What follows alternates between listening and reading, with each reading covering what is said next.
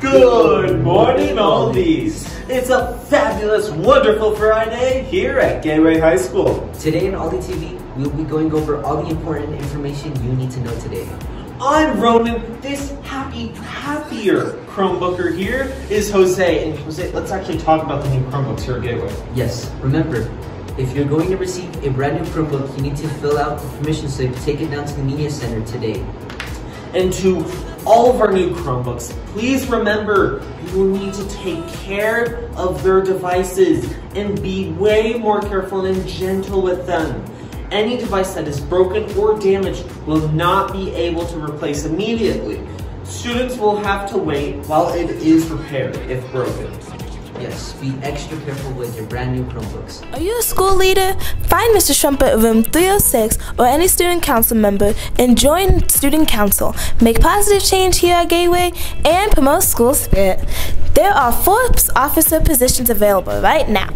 Monday is Halloween and Stuco wants to celebrate with the fanny pack trick or treat. Wear a costume and go up to any student council member wearing a fanny pack and say trick or treat for your Halloween treat.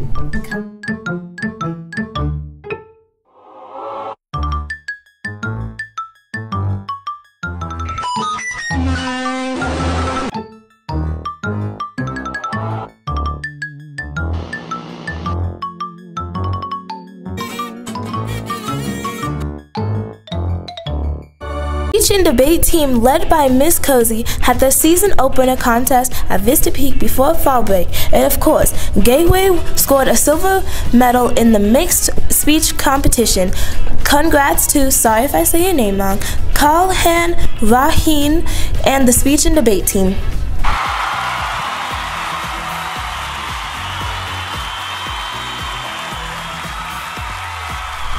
Great job to the speech and debate team. If you're interested in joining speech and debate, see Miss Cozy in room 402.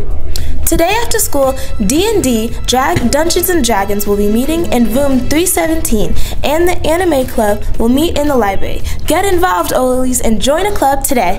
I'm here with Mr. Rosen. Mr. Rosen, Bop or Flop, The Lost Boy. Um, it's most definitely a bop. If you don't know, The Lost Boy is our fall play. It's performing next Thursday, Friday, and Saturday. Thursday night at 7, Friday night at 7, Saturday at 2 p.m., and Saturday at 7 p.m. It's a show about the creation of Peter Pan, so you can come and you can see uh, some cool things like that. Come on out, check it out. $5 for students, $8 for everybody else.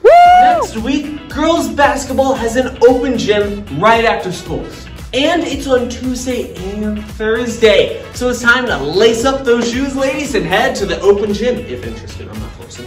That's a great reminder, Ollies, that all winter sports are signing up now. This year you can join wrestling, boys and girls basketball, and even swimming. Email these coaches for more information or stop by to see Mr. Jefferson in the athletic office at First and Main.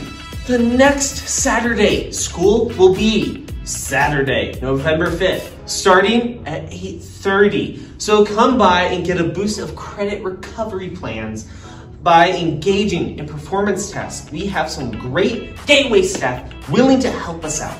November 5th is Saturday school for those wondering.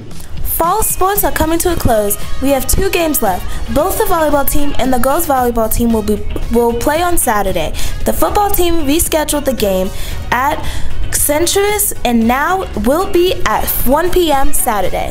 The ladies volleyball team has a tournament at Overland High School on Saturday. The C team starts at 9 a.m. and the JV and varsity are to follow. We hope you have a great weekend, Olies. But before then, make sure to say hi in the hallways. Bye. Bye.